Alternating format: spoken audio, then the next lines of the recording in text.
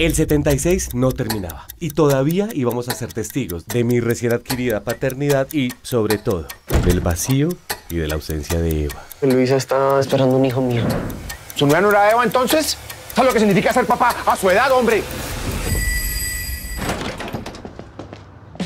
Regresé. Luisa está en embarazo. Camilo, nosotros ya no existimos. ¿Cómo lo va a obligar a casarse? Es un niño. ¿Cuál es el problema? Después se enamora. No me quiero Que casar. no le que le estoy diciendo. Quiere que le levanten de aquí ante la gente, ¿ok?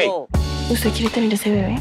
Porque existen otras alternativas. Grave eso de que una peladita se ande abriendo de patas. ¿Cómo le diría usted entonces? ¿Ah? Mujeres dueñas de sus cuerpos y sus decisiones. Usted sabe que yo por usted sería capaz de hacer cualquier cosa. Este tontarrón no tiene ni idea cómo manejar un noviazgo. Necesita un consejo paterno. Yo se lo voy a dar. Ay, José, por favor, no empeore las cosas. Los hombres somos cazadores por naturaleza.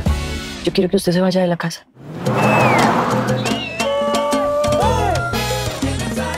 ¿Qué hacen aquí? Usted y yo no podemos volver a estar juntos. Algo que vuelve mi cabeza loca y yo no sé qué me pasa. Pero créame que usted no es la única razón por la cual yo no puedo estar con Camilo. ¿Por qué no salimos esta noche?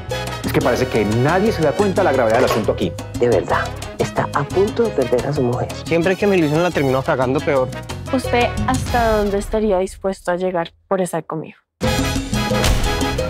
Estoy en una situación desesperada.